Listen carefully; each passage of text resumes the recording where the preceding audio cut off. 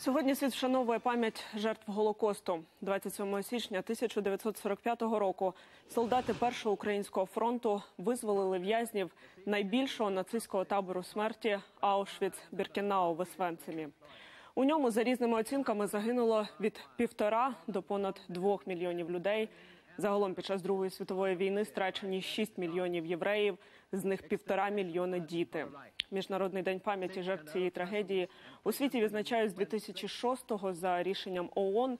Нині у 75-ту річницю звільнення Освенцима на меморіальні заходи до музею на місці колишньої катівні з'їхалися лідери багатьох держав, а також ті, кому пощастило врятуватися з табору смерті.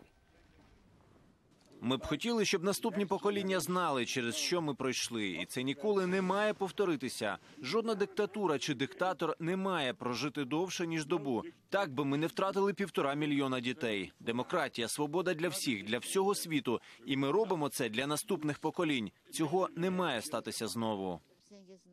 Для майбутнього покоління не можна бути осторонь. Якщо вони бачать те, що неправильно, їм не слід мовчати і ніколи, ніколи не ненавидіти, бо ненависть саме руйнівна.